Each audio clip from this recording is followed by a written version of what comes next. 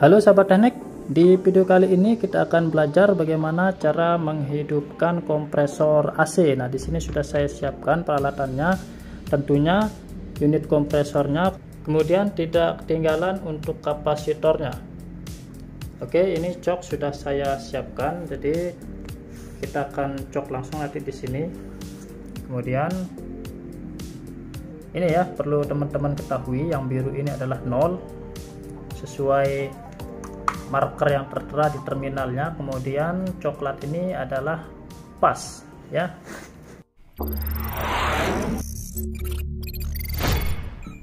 Nah di sini sudah ada kabel kompresor. Oke kita lihat dulu pasnya ya. Karena seperti video yang lalu pasnya itu adalah common ya. Nah ini adalah pas yang warna hitam. Keluar ke ujung sini. Jadi yang hitam ini kita akan pasang ke terminal kamennya.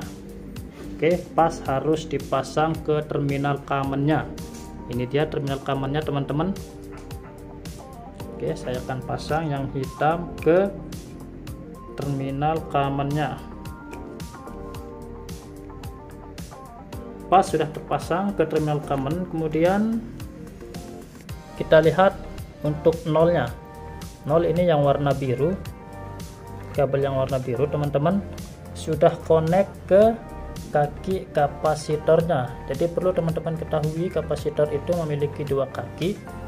Jadi kita pasang bolak-balik terserah ya. Nah di sini kebetulan sudah saya pasang di sini untuk nolnya langsung ke kapasitor.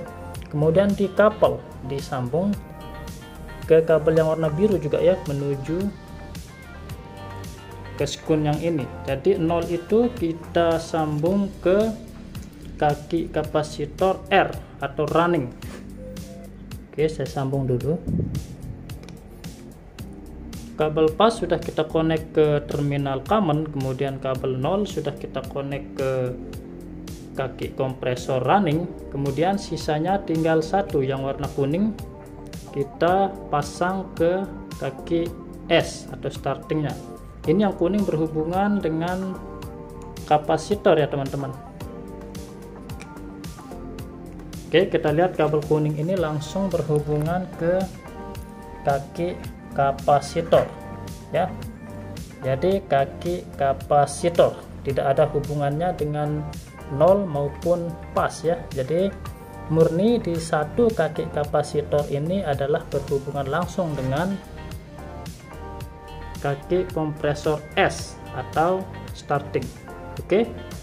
hanya kabel 0 atau running yang berhubungan dengan kaki kapasitor oke okay? jadi 0 ini perlu teman-teman ingat kabel 0 ini berhubungan dengan kaki kapasitor satu kemudian dengan kaki running satu oke okay? Sekarang saya akan coba hidupkan. Oke sekarang saya akan cok extensionnya teman-teman. Kita akan lihat apakah berhasil.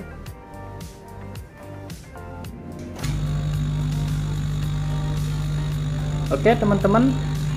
Kompresor sudah hidup ya